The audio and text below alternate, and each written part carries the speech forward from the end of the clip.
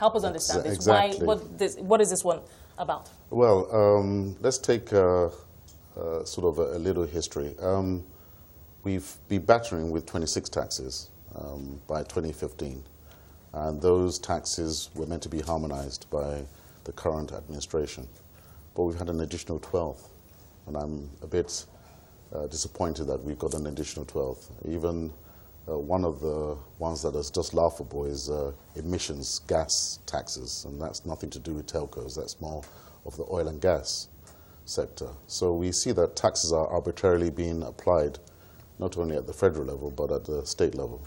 And in, in particular in some states where I guess it's very easy to apply certain taxes that apply to the natural resource that exists in those states, without naming states.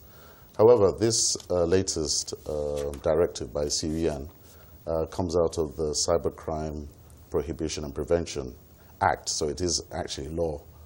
Um, there's many sections in that act that needs to be implemented, and they decided to go for the first one, which is Section uh, 44, uh, which states this 0.05%. Now, if you look at uh, 2017 figures released, uh, NIBSS, we were actually transacting conservatively about 69 trillion naira worth of payments. And these are payments that really are flowing through the system and uh, not owned by any agency. So we consider it uh, really as a tax on those payment systems. And you know that with the ease of doing business, we see that government wants to uh, sort of uh, attract further transactions to go through the system under the cashless uh, policy. However, this is an additional burden that we see will be applied not only to those that are identified to collect those taxes, or levy, as you might call it, uh, but we need to simply say, look, enough is enough. On, this will be the 39th applied to our industry. It's viewed as a cash cow, no longer seems to be a, a, a priority for the government in terms of other incentives and policies. So uh, that's our stance at the moment, that uh, we view this as obviously overtly excessive. Okay. Okay, so I just want to go by what you said, so I'll take us back just a little bit. So you said 26 taxes were already levied on the industry by 2015. The government initially promised to harmonize these taxes, and some of what I've been reading is that some of your complaints have a lot to do with the duplication of taxes. So let's say the federal government, the local government, and the state government are all collecting some proportion of what is ostensibly the same, The same tax. thing. So, what do you think needs to be done to really bring this together, or what work is being done to really harmonize these policies? Well, I, I think that uh, we made our position clear in 2016 and 2017. We definitely put uh, position papers in front of the Ministry of Communications and uh, the Ministry of Finance.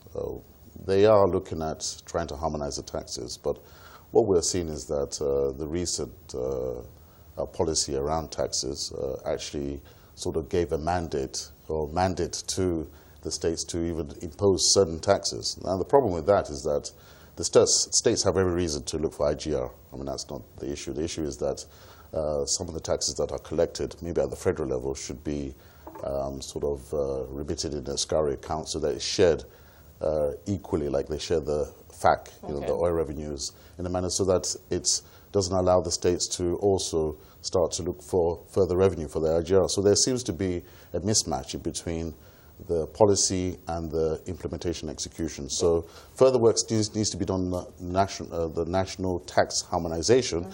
But even though, even if that's put in place, we still have to have an implementation where you avoid states still collecting where federal government has Okay. collected. So how exactly do you plan to fight this or protest against this? Well, it's not a protest; it's a law. I mean, so you can't. Well, how do you- okay, if to if challenge we, this? If we carry out, well, uh, the, the idea is that uh, I think that the statement that I made in public uh, to the press media was that we can't carry this charge. I mean, it's a charge that will have to be passed on to the consumers. Um, our industry has input costs that are far ex- almost in excess of our revenues. As you know, that our average revenue per subscriber has dropped considerably. Um, the mean figure is now $3.81, and our profit per subscriber is dwindling because the costs are increasing. Tax and unplanned levies are a form of additional cost to our industry. But, it's, but it's something you would definitely, if this goes through, if you're unable to Definitely. fight this, you I definitely think- go on to the consumer. I think it will have to. Electronic transactions are done by consumers. I mean, how else are electronic transactions originated? So would, it, would it be significant? uh, Is it it's something a hard to consumer tell. would I say, think that's- uh, I can live with it? I think so- that uh, when you look at a figure of 69 trillion naira and you, you apply the 0.05%, that's about 5 billion naira. And as you increase the transactions, and that's just on one channel, if you, as you increase the number of uh, channels you introduce, because it's not only affecting telecoms, it's also affecting the financial banks, Banks, insurance, I believe, and, and, and the, the stock exchange. So, you know, you do, there's a lot of people doing gaming, a lot of people doing other transactions. So if you look at all the channels, you're looking at, you know, a range of 5 billion to uh, maybe 20, 30 billion in the first year, and then to 2020, you could be looking at 200 billion Wow. levy, you know, which is significant on top of the additional Uh, 38 that we're already facing. Okay, so now what I what I want to move on to is this this 39th proposed tax. I know it's already low, but then it doesn't seem to have been quite implemented. But don't you think it's it, this one this one could be a good idea because we have had cybersecurity issues. But then I'll also ask you another question. Have you heard of this cybersecurity fund that they're trying to raise revenue for? And what will the function? What do you think the function of this will be? And can you assess that for us a bit? Yeah, I mean, when you look at the actual act itself, it states that they're going to create an agency to do what? We already have the ONSA, we have NCC, um, NCC, NITDA, and other agencies right now are looking at cybercrime and how to reduce the threat of cybercrime.